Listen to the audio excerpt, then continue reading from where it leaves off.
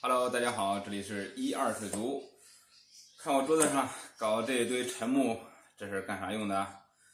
其实啊，我今天下午是抽出一点时间做了一个小景观，因为我家里面不是有两个三十五厘米的方缸嘛，里面的景观有点糟糕了，大概半年时间没管过了。今天突然心血来潮，把沉木打包发货完了，没事了，现在呢就开始动手做了一个小景观。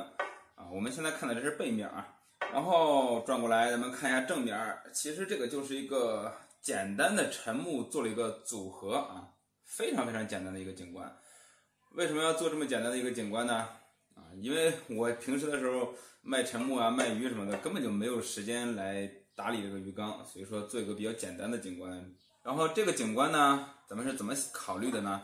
它呢放到鱼缸里面之后。周边我会全部栽种上那个迷你牛毛，就不种其他水草了。这样的话，只是下面有一层草坪，然后上面立起来几根这个沉木，再养上一群小型热带鱼，在鱼缸里面游起来，我会感觉它比较清爽啊。咱们不再做那种特别复杂的什么像热带雨林一样的那个景观了，太麻烦。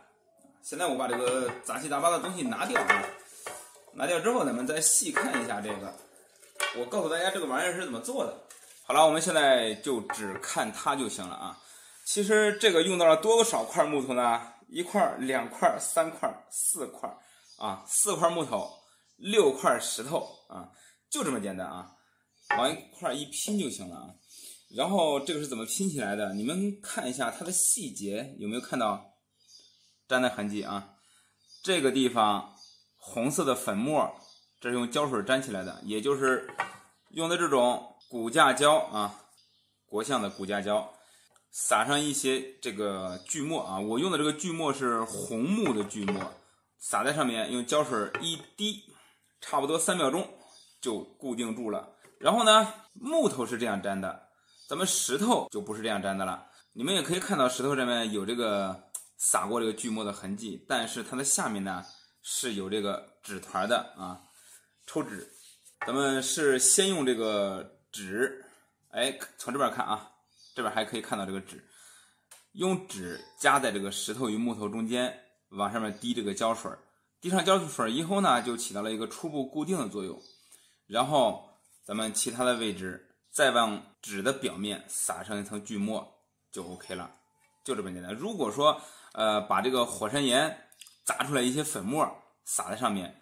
颜色更自然啊，它就成了一个一体的了啊。但是我没有那个时间去砸这些粉末，所以直接就这样搞了一下啊，非常简单的一个景观。如果大家对这里面还有什么不太了解的地方，你们可以评论留言，我看到以后我会告诉你们的。还有就是大家在做这个草缸景观的时候啊，好多朋友说我不会做，不会做，我已经把这个方法告诉你了。你只要说想象一下自己想做成一个什么样子，自己动手去做就行了。一遍做的不理想，那就做两遍；两遍做的不理想，那就做三遍。每一个造景师都是这样一步一步成为大师的。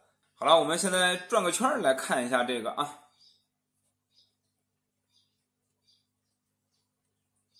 现在我们看到的是它的背面，因为背面不考虑到欣赏的效果啊，所以说。就比较简单了，像这种上面呢，你要是想点缀水草的话，你可以粘一些墨丝啊，或者说其他的一些水草都可以的。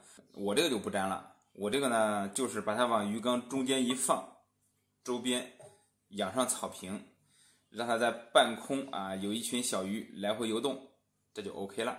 好了，今天就给大家分享这么多吧，有什么不懂的，到时候你们再问我，好吧，拜拜。